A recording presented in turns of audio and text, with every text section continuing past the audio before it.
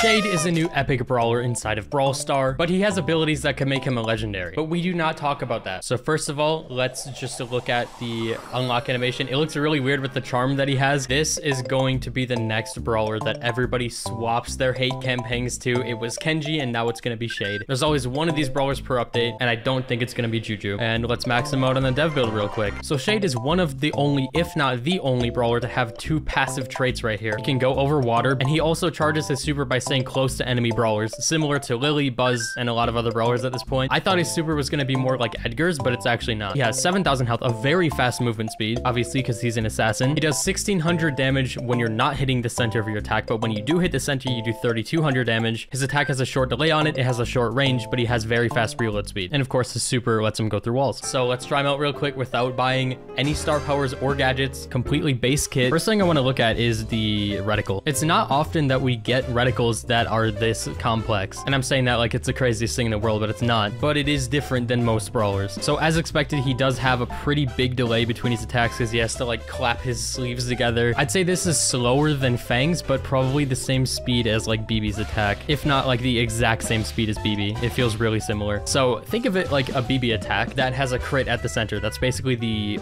biggest difference. And maybe it's a little bit smaller, but there's potential for you to get even more damage with it. I love that they added the number with the critical hit as well. But yeah, that is it for his main attack, but his super is where it gets crazy. He gets to go through walls, it's a pretty long timer, probably comparable to Leon with his mythic gear on. Like, that's a good six seconds at least. And for the entire duration, you just get to go straight through walls. So you could obviously dodge any brawler who is unable to shoot through walls or over walls really easily. You just have to, you don't even have to go through the wall. You could hit him straight through it because his attack goes through walls anyways. But if you're in the wall, you could get like closer to them and then get the attack off while being completely safe, unable to take any damage. This ability is going to break the game. It just depends on the matchup because certain brawlers could just stay away from him while he's doing this, but he does become pretty fast and he can recycle his super pretty fast as well. It takes a few hits though. It takes more than a full ammo bar to refresh his super. Oh my god, the speed stacks. Is this a glitch? Whoa, dude. If that's not a glitch, that's insane. Okay, I'm gonna try it out now. I wanna see how much speed I can get. Look at this. All right, another one. Yo, let's keep it going. Bro, look at how fast I am. oh my god. I'm gonna break the game. This is gonna break the entire game. Bro, I'm going so fast. All right, let's see how fast we can get before it breaks the game. Dude, the fact that I still have control of my brawler right now is insane. I want to see if I can go to the bottom of the map and come back. Let's go. Bottom of the map. Going back. Dude, this is insane. this is the fastest any brawler has ever been without breaking the game. Obviously, you're not going to get this fast in an actual game, but like, bro, it looks ridiculous. Unless you somehow manage to cycle your super over and over again without killing the entire enemy team before the duration ends, we might see some clips with this if they don't remove it though. Oh, I'm actually bugging the game out now. Like, I could just whip around. Like, look at this. I'm trying to spin and it's all messed up. Oh, I got an error. Bruh. Okay, now that we're done having fun. His first gadget is called long arms. His next main attack has 50% longer range. This is going to be pretty useful for when you're behind a wall and you want to hit somebody while being safe behind the wall. So, for example, if we go right here, we try to hit him. We don't, but if we have this on, it becomes huge and then we get to hit him. And just in case you want a better representation, here's me just standing here doing nothing and here's the range after. Pretty big. It's the exact size of his circle, actually. This is mostly going to be used for kill confirms, I would assume. You just have to make sure that you hit him right in the center, otherwise you might waste it. 50% is a very big difference. I'm curious how easy it would be to like hit it while you're moving. Like, yeah, you'd have to really predict where they're going to go in order to get value out of that, but definitely not a bad gadget with the type of attack that he has. And the fact that I can go this fast is still crazy, man.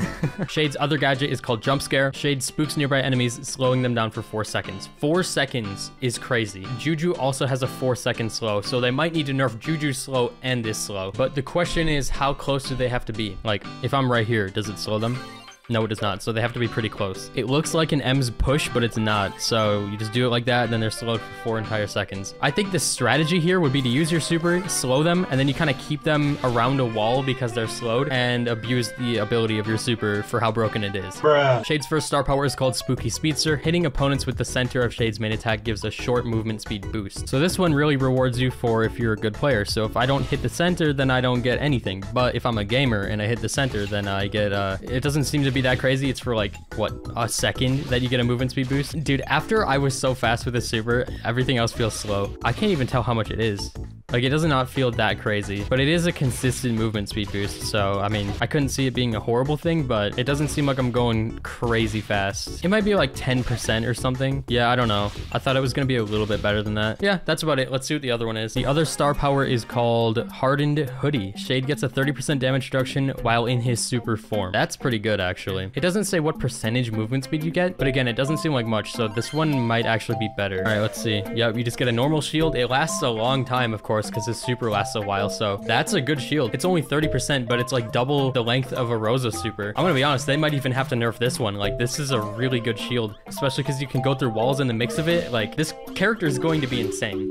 I hope people realize this. I don't even need to hope because people are obviously going to realize this. I'm not sure what they're going to have to do to nerf this guy, but he's a little bit crazy. Maybe too crazy. It's another assassin that hard counters a lot of brawlers in this game but I really like his playstyle. I think he's really fun. But uh, yeah, a lot of people are definitely going to absolutely dogpile on this brawler and hate him until the end of time, until he gets nerfed to oblivion. There's just no way that they can keep this mechanic in the game. I mean, I love it though. It's so fun. I'm breaking my game. Like, this is the most wild thing I've seen in the dev build. I really hope they do keep this because it's not like we're going to get this ever in a real game. Okay, I'm going to take what I think is going to be his general best build into a training match. I'm taking Jump Scare, the one that slows people because 4 seconds is ridiculous, and 30% shield for like 6 seconds is also wild. You could really change the gears out, like gadget gear could be good or damage, but other than that, I think speed should be good as long as there is grass on the map, and he's an assassin, so of course he would use that. Brawlers like this always end up being a little bit more squishy than I expect them to be, so we'll see about this. I'm gonna try and slow her real quick. That did not work.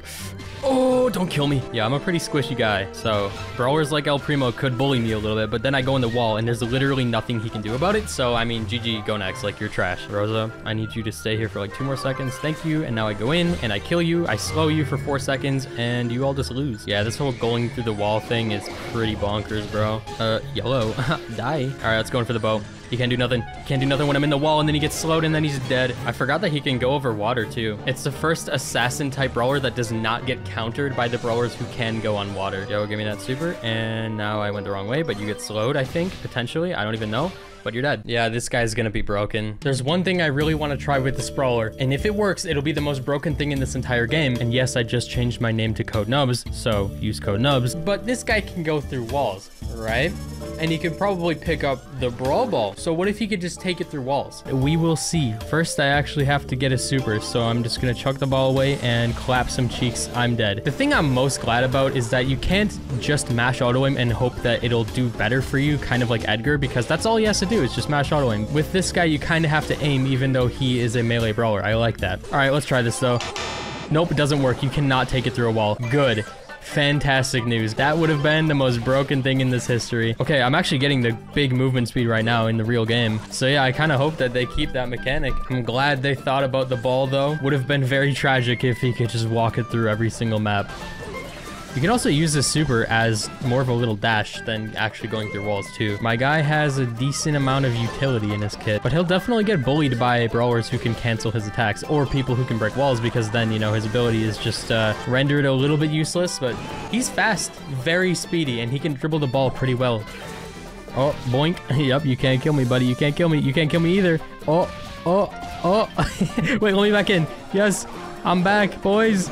Uh-oh. Yeah, this wall mechanic is definitely going to be broken. But uh, yeah, that is Shade. Let me know what you think in the comment section. And this is the final sneak peek, so let me know your thoughts on everything once you get to play it all. Subscribe for Angel Max. Follow me on Twitter. I will pick the winners there. And I will see you later.